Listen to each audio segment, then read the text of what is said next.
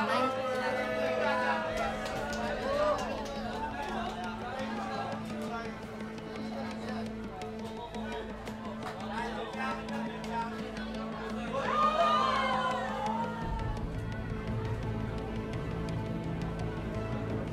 Ah, uh, Lilith, gusto mo ako muna tumingin?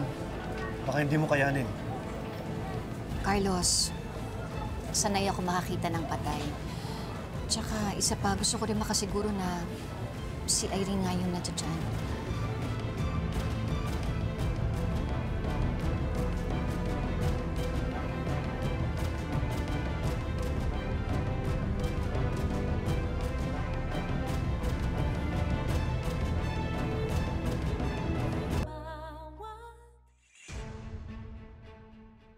Ang layo ng itsura ng patay sa sinabi ni Annalyn. Lilith, hindi si Erin yan. Ang layo ng itsura eh. Oo nga eh. Nakakapagtaka lang kasi bakit sinabi ni Annalyn na kamukha ni Irene? Eh, hindi naman. Oo, di ba? Ang layo ng itsura niya.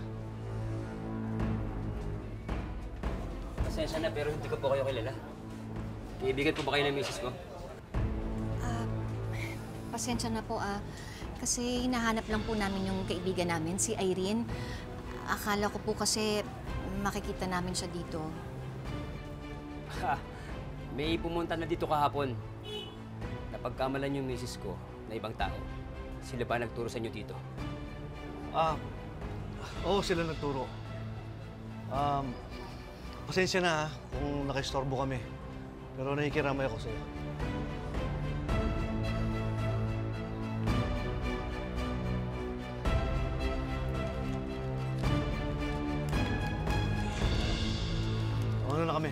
Pasensya na talaga. Hindi, tara na.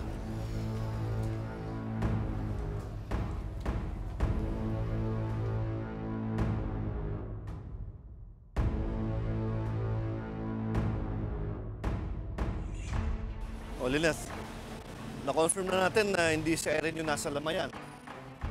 Siguro naman, mapapanatag na yung loob mo. Salamat ah, sa pagsama mo sa akin. Pasensya na kung naabala kita sa wala. Carlos, sa tingin mo anong nangyari kay Irene? Bakit bigla na lang siyang nawala? Eh, bago pa mangyari to, alam ko tumadaan-daan pa yan sa East Ridge eh. Kasi nagtatago nga. Tara na. Sige.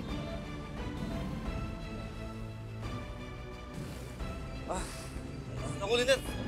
Bakit? Yung susi ko, naiwan ata doon. Nahulog yata eh. Hanapin ko muna. Ah, lika, samahan kita. Hindi, wag na, Lynette. Di ba may meeting ka pa? Baka malate ka. Ah, sigurado ka? Sige, sige, mauna na. Sige, Lynette. Pasensya ka na, ha? Bawi ako. Mag-ingat ka.